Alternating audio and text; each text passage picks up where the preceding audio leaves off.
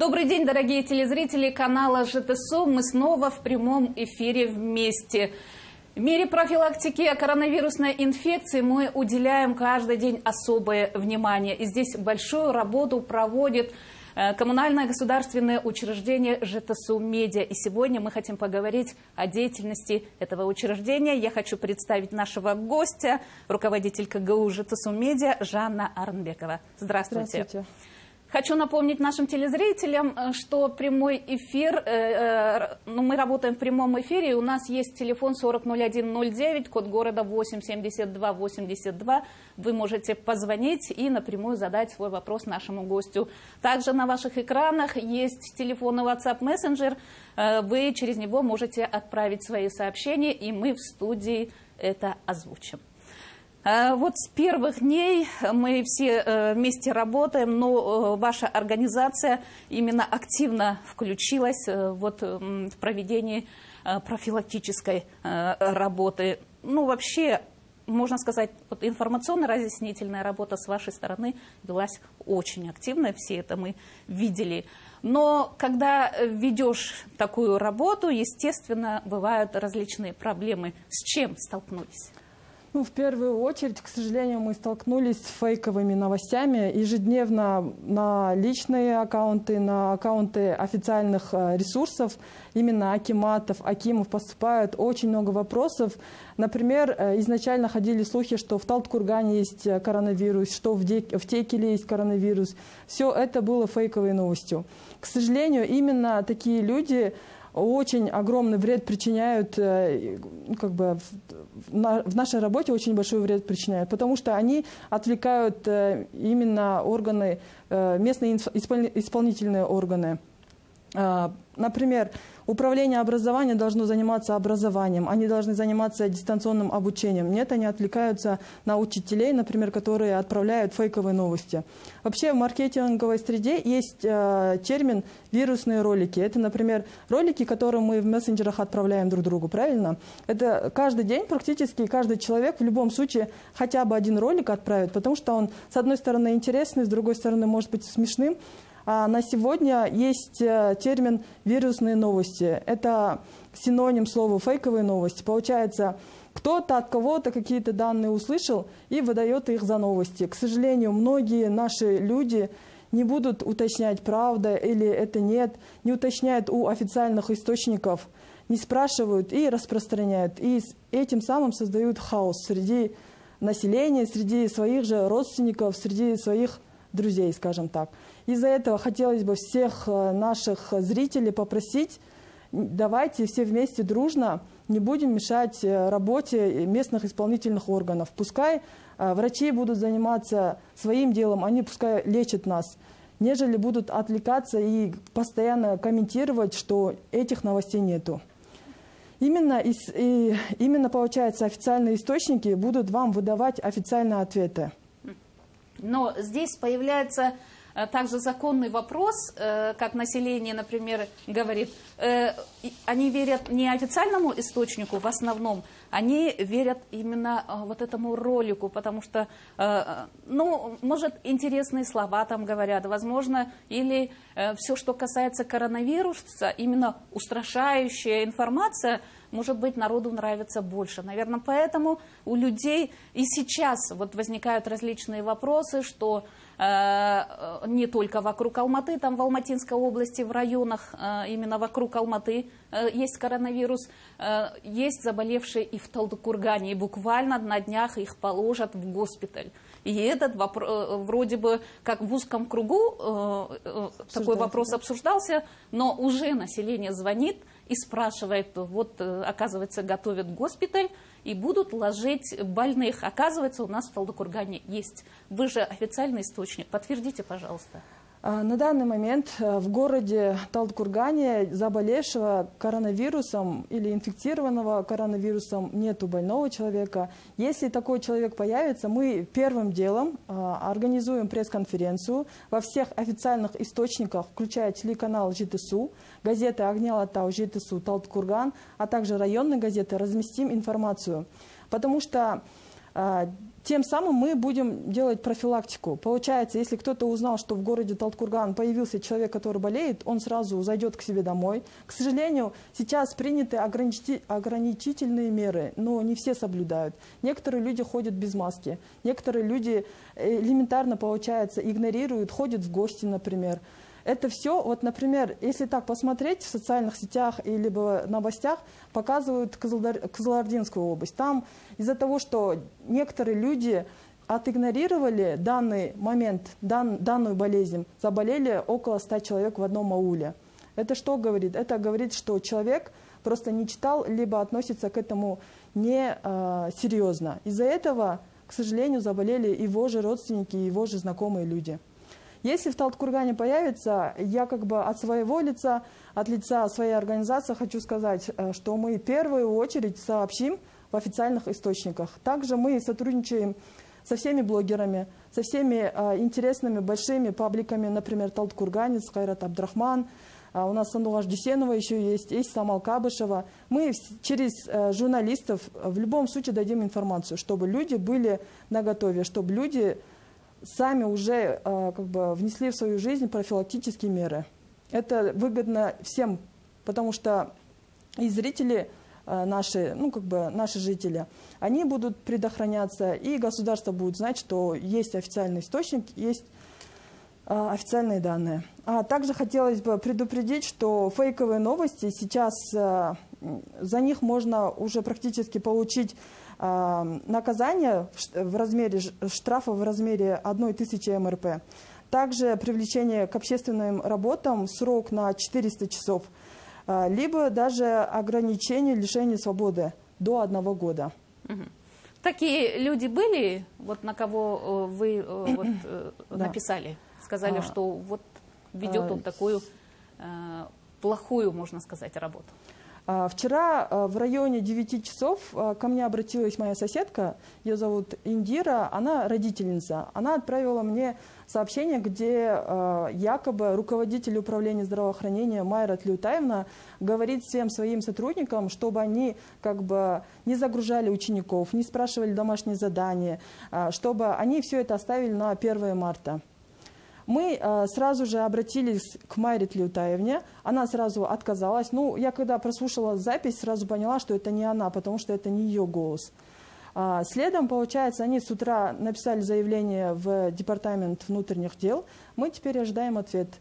А, также хотелось бы сказать, что а, именно официальные источники управления, э, на сайте Управления образования, в их социальных сетях, э, на так, официальных аккаунтах Акимата вышла информация, что эта информация фейковая. А, сейчас уже на республиканских сайтах выходит информация, что эта информация полностью недостоверная. И здесь вот вопрос телезрителя. А, мы помним, а, как э, выступала директор э, школы города Текели, и вот недавно учительница тоже выступила, но однако э, заставляют их закрыть рот, пишут. Э, вот вообще как ведется работа с такими людьми, которые вот э, выставляют Ага. Вот Давайте на этот вопрос чуть позже ответим. Есть телефонный звонок, мы вас слушаем. Задавайте свой вопрос. Здравствуйте. Добрый день. Говорите, мы вас слушаем. А, добрый день. Мне хотелось бы задать... Задавайте. Кое-какие. Да, слушаем вас. Так, вот у нас сейчас выступает, вот у нас кто будет обслуживать? Я пенсионер, 90 лет. Угу. А кого нужно? Есть у нас проблемы кое-какие. Но... Мы не можем выйти, выехать никуда. У нас карантин в Алмата, вокруг, э, везде посты. А по, по заказать или получить кто-то прийти, узнавать, это никто не хочет. Нет, вот в Алмате, вон видите, как, как обслуживает. А, именно... А мы как будто на где-нибудь а, на острове. Вам нужно купить э, что-нибудь или прийти дома помочь? Нет, у нас проблема... Да, конечно, да, купить так мы И она, вот рядом магазин у нас. Да. Спасибо большое, мы вас поняли. Вот здесь вот охота э, услышать э, о деятельности волонтерской службы. Да. Как она ведется? Сейчас, получается, во всех районах, во всех городах Алматинской области э, есть специальные волонтеры, которые сами э, как бы пришли и сказали, что они хотят помочь. А, по постановлению главного санитарного государственного врача Алматинской области Хайрата Гажмановича, к сожалению, а, старшему поколению нужно сидеть дома, потому что этот вирус э, именно очень опасен для старшего поколения. А, если вы нас еще слушаете, вы можете обратиться в местный исполнительный орган, написать, э, либо попросить кого-то позвонить им, они вам помогут. Либо оставьте здесь, сюда свои данные, мы свяжемся с вами. Активную деятельность в этом направлении э, проводит и партия Нуротан, а также просто наши жители. Например, в городе Талткурган активно благотворительностью занимается Даурен Талипов. Я хотела бы выразить огромную благодарность этому человеку, потому что он помогает не только многодетным, а, не только нуждающимся людям, но и во всех постах а, практически обеспечивает, э, а, скажем так, так ужином, обедом и завтраком всех санитарных врачей, полицейских и так далее. А этих санитарных постов вокруг города Талдыкурган а, больше четырех сейчас, если не ошибаюсь. И, и не один э, специалист, там, там несколько специалистов сидят. Да. Давайте продолжим. Э, хочу напомнить вот таким людям, как вот к нам обратился э, человек, позвоните в исполнительный орган. Я надеюсь, они знают номер. Ну, попросите кого-нибудь из молодых, они вам найдут номер. Есть еще один телефонный звонок, мы вас слушаем. Задавайте свой вопрос. Алло, здравствуйте. Здравствуйте. Говорите. Этот, я инвалид второй группы. Этот у меня инвалидность вот, и я не получил пособие. Вот теперь, смотрите, жена ходила, я летать не могу. Жена ходила в больницу, в ТЭК, ее футболя то туда, то сюда, то это, то время должны купить. Угу. Ну, ничего нет, понимаете. Теперь говорят, обратно продлили карантин, если до 30-го продлили теперь. Теперь я что, на следующий месяц обратно без этого останусь? Этого. Так, это пособие по инвалидности? Пособие, да, пособие по инвалидности. Угу. А, вообще-то по инвалидности же на год оформляется. Да. Вот год у меня кончился как раз вот в апреле. Откуда вы звоните? Талгара. Как Талгар. ваша фамилия? Исраилов. Спасибо большое, спасибо. Да. Этим, этим вопросом занимается управление социальной защиты. А, мы передадим а, ваши данные, уточним и в своих а, аккаунтах сообщим вам на этот вопрос ответ. Ну, если э, вы хотите получить ответ, вы можете номер телефона свой оставить, да. мы с вами свяжемся. Но мы не поговорили о том, что вот э, зритель э, тоже написал сюда, о Учителя, том, что мы да? заставляем молчать после того, как они сказали правду. Ну, так ли это? Да, в Казахстане, мне кажется, никого нельзя заставить молчать. У всех есть вот сотовые телефоны, через которые они, к сожалению, распространяют и плохие новости, и к нашей радости, и хорошие новости.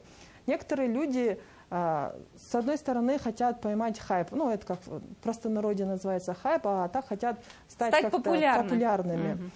К сожалению, директор школы номер пять, она не так поняла, например, э, всю работу, которая проводилась э, в рамках профилактических мер, и как бы додумала, скажем так, информацию, придумала, и распространилась среди своих же сотрудников.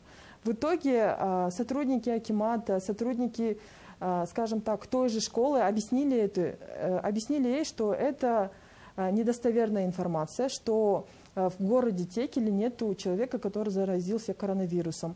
И поняв это, она извинилась. Мне кажется, тут любой человек сказал бы так и извинился бы. Извинился. И это правильно. Давайте ответим телезрителю на линии. Мы вас слушаем. А, алло. Да-да, говорите. А, здравствуйте, я бы хотела спросить, а, вот у меня сейчас заработная плата 31 500 тенге. Я работаю в учреждении на 0,5 ставки. И а, получается, могу ли я какую-нибудь помощь получить? Может, 42 500 тенге или не знаю. Просто я не самозанятый человек, я не, получается, ни в какую категорию не вхожу. Так. Угу. К сожалению, Спасибо. социальная выплата 42 500 тенге выдается именно тем гражданам, которые пострадали из-за чрезвычайного положения в стране из-за коронавируса. В данном случае нужно уточнить, э, мы уточним этот момент и э, ответим вам чуть позже. Угу. После того, как выясним. Да. А, вот, а, а как вот насчет э, учительницы, которая ночью тоже выставила свое видео, где она плачет и говорит о своих проблемах? Куда-нибудь направили, ее проблемы решились? Тоже это интересуется вот, зрители. Да, на данный момент э, Акимат Куксусского района, именно Аким Куксусского района, переговорили с ней уже полностью, ей дали роутер, э, также дали с отдела образования а, Куксусского района, моноблок. Сейчас она работает дома, интернет у нее подключен. А, к сожалению, я увидела этот ролик чуть позже, но местные исполнительные власти моментально среагировали. Конечно, люди поделились на два лагеря. Некоторые люди поддержали ее, то, что да, есть проблемы с интернетом, но некоторые были чуть-чуть огорчены, скажем так, и разочарованы из-за того, что учителя а, подняли такой, э, скажем так, шум. Некоторые посчитали, что это хайп. Но если а, учесть мое собственное мнение, я тоже считаю, что да, есть сейчас трудные моменты. Никто не ожидал, что в один период все сразу перейдут на дистанционное обучение. Они максимально подготовились, но были проблемы. Даже вот э, социальная выплата 42 500 тенге. В один момент, э, получается, вся страна зашла на сайт ИГОВ. Из-за этого она стала виснуть. Ну, даже министр сам да. признался, что интернет сегодня не выдерживает да. вот такого наплыва народа. Есть телефонный звонок, давайте ответим. Говорите. Ну, Задавайте свой вопрос, мы вас слушаем. Алло, здравствуйте. Здравствуйте. Я бы хотела узнать. Я бы хотела узнать. Слушаем ага, вас. Здравствуйте. Я хотела узнать, я вот в городе Талгаре живу, одинокая мама. Э, в прошлом году я потеряла супруга от онкологии. Я одинокая мама с ребенком. Я смогу получить вот 42 500, так как я получаю вот это пособие по утерю кормильца. И самозанятая я. Теперь мне везде закрыли, я вот сижу. Что мне делать? А, так, а, по моим данным, если я не ошибаюсь, к сожалению, я не, не имею права полностью консультировать, так как я сотрудник а, внутренней политики и ЖИЦУ Медиа. У нас получается, если вы получаете пособие, пособие у вас не остановилось, вы ее своевременно получите. Но так как вы самозанятая, вы можете подать э, заявку в Министерстве труда Республики Казахстан полностью рассмотрят и дадут вам а, ответ. Есть также номер 1414 э, колл-центра. Вы позвоните туда, уточните, вам ответят. Э, давайте продолжим. Э, скажите, пожалуйста, вот ЖТСУ Медиа, коммунальное государственное учреждение, вообще какую цель преследует? Самая главная наша цель – это полностью информировать достоверной информацией при этом э, создать эффективный, э, эффективный коммуникационный баланс среди зрителей, жителей и, скажем так, местных государственных исполнительных органов. В принципе, на сегодня, за 4 года мы лидируем по показаниям именно мы проводим больше всех брифингов. Если в некоторых регионах проводят 50 брифингов в год, мы в год проводим около 200 брифингов у нас, получается, информация выходит очень качественно и очень оперативно. На данный момент только из-за коронавируса мы распространили а, в соцсетях а, около 200 или больше а, афиш, например, с информацией о том, как нужно, например, даже мыть руки, как нужно делать мы сделали видео, например, как нужно сделать в домашних условиях маски элементарные. Также разного характера информации Например, постановление полностью показали в картинках, постановление показали 42 500, это соцвыплата, а также все новые новости про коронавирус. Потому что сейчас все сидят в социальных сетях, все информации получают через мобильные телефоны. К сожалению, не многие люди читают полностью текст. Все э, смотрят картинки либо видео. Ну, это как бы уже доказано и не раз, наверное, говорилось. Угу. Картинка играет 90% роли, э, когда э, какой, да. какой-то текст выкладывают. Через, Лучше, да. Получается, информацию сейчас э, люди получают больше визуально. Угу. А, вы говорите, больше брифингов провели. Вообще, э, ваши учреждения с чем больше обращаются? Вот что народ волнует до вот коронавируса и во время коронавируса, вот этой инфекции?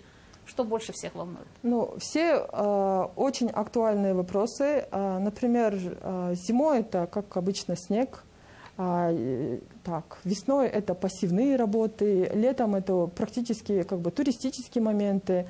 А, всегда очень огромную, а, большую часть нашей работы – это социальные а, социальные вещи, которые происходят у нас в стране, социальные проекты, социальные программы, государственные программы. Я же говорю, к сожалению, немногие читают новости полностью, не вникают и задают, э, скажем так, вопросы. Сейчас от государства очень много возможностей предоставлено людям, чтобы они могли э, жить э, качественно. Угу. Э, вы только что, нам известно, что вы только что вышли из брифинга, и там говорили о том, что в Алматинской области есть выздоровевшие вот от этой э, инфекции, от коронавируса. Э, поделитесь с нами. А, только что со мной рядом выступал руководитель управления здравоохранения Бауржан Ербоземович. Он сообщил радостную новость, что самый первый человек, который у нас в Алматинской области заболел, это человек, который прилетел а, из Мекки а, через Киргизстан. 85 -го года а, рождения, мужчина, он сейчас выздоровел, сейчас а, будет находиться 10 дней на карантине дома. А, также двое человек, двое людей, которые были рядом, контактировали с ним, тоже будут под наблюдениями врачей. Ну, у нас в целом профилактические меры сохранены, из-за этого роста заболевших к нашей радости нету. Также дайте, пожалуйста, информацию э, о том, что продлится ли э, вот это чрезвычайное положение до конца месяца. Одни говорят, что до конца, одни говорят, что 15-го мы завершим и выйдем полноценно работать. Э, на данный момент официального продления э, так, э, ограничительных мер не было, но как нам скажут, что были приняты меры, мы и сообщим. Но Чисто мое личное мнение, скорее всего, а, время ограничительных мер чуть-чуть продлится, потому что в стране а, идет рост заболевших. Еще спада нет? Да, спада еще нету. А, очень много жителей задают в личном аккаунте вопросы, когда это закончится, зачем это делается, зачем вы город закрыли. Это делается для профилактики, это делается для того, чтобы наши жители наши дорогие жители а, оставались здоровыми, чтобы они не болели, чтобы, а, например, месяц-два, мне кажется, можно посидеть дома, можно чуть-чуть отдохнуть, скажем так. Я понимаю, что движение – это жизнь, но жизнь намного дороже, чем деньги. Правильно же? Ну и такая возможность сейчас, конечно, люди боятся, э, что денег на это не хватит, хотя от отдыха никто и не откажется. До конца программы осталось немножечко ваши пожелания вкратце. А, хочу э, пожелать всем а, оставаться, ну, с одной стороны, хочу всех попросить, во-первых, остаться дома, чтобы вы были здоровы, чтобы ваши близкие не были под угрозой заболеть этим вирусом. Самое главное для нас это ваше здоровье, чтобы вы жили счастливо и скажем так, э, были здоровыми. Также хотелось бы поделиться, везде говорят, что там появились дельфины, э, природа стала чище. У нас есть тоже очень хорошая новость, в Текеле появились лебеди. Это, мне кажется, очень хороший знак. Аким Текеле об этом говорил. Я тоже считаю, что это хороший знак. Надеюсь, э, этот вирус побыстрее уйдет, и мы все выйдем из Заживем полноценной жизнью. Да. Вот на этой хорошей ноте хотим завершить сегодняшнюю программу. Дорогие телезрители, теперь встретимся в прямом эфире в понедельник в 16.00. До свидания.